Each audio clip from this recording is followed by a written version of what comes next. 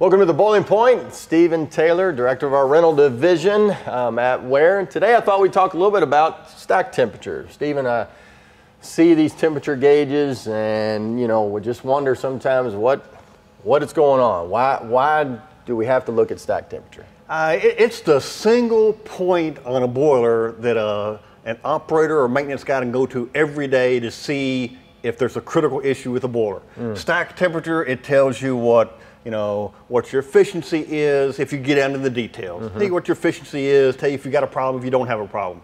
It's a firetube boiler, three pass, Victory unit, Victory Energy unit. It's going to run 375 to 400, typically on high fire, run mm-hmm. a little mm-hmm. lower on, on low fire. Mm-hmm. That's pretty typical. Okay. So if you're tracking that every day and you're writing that down, down every day, you can look, okay, 380, 380, 380, 390, 410, 425. Uh oh, there's a problem. Okay. That's, and that's the quickest thing to tell them without any other monitoring devices. That will tell them, hey, I've got a problem, or nope, I'm, I'm clean, I'm okay.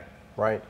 Now, what happens um, if the stack temperature is basically just high on a boiler. I mean, if it's a if it's a higher stack temperature, what can actually can you actually do with that that heat? It, it uh, higher the higher the stack temperature, typically the, the less efficient the boiler is. Okay. You're not converting that heat to water okay. to make steam out of. So, like on this one, when you put an economizer on it, you run your your makeup water through that economizer, recover all that heat. It's free energy that you're mm-hmm. recovering. So then, then the the temperature going out the stack up there may be 210 or 225 or something. but uh, th- that's that's what you want to do. It, right. if, if, you have an opportunity, put put an economizer on there to recover that heat. It, you install a boiler, and let's just say the stack temperature is not high enough.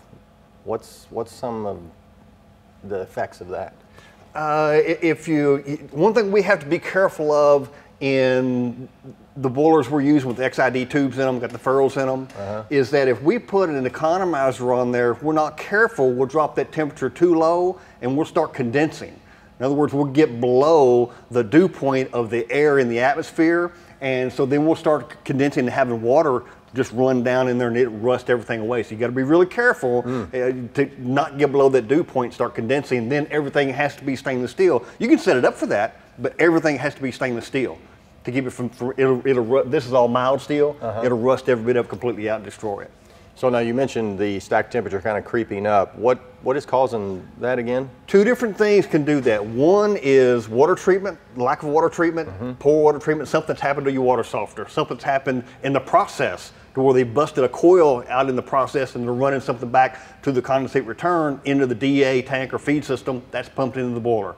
So, it, so in essence, you're building something on the water side of the boiler that's that's insulating that tube, keeps that those gases from transferring into the water to create steam. Mm. So then that heat comes straight out the stack. Mm. That's one side.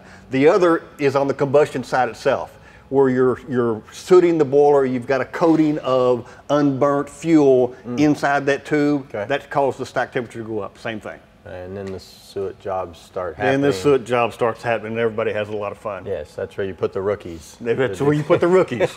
That's it. you find out whether they're going to stay or not. That's right. Well, I think that's it. We appreciate you hanging out with us on the stack temperature, and we'll see you next time on the boiling point. Appreciate Steven hanging out with us today, talking about the stack temperature.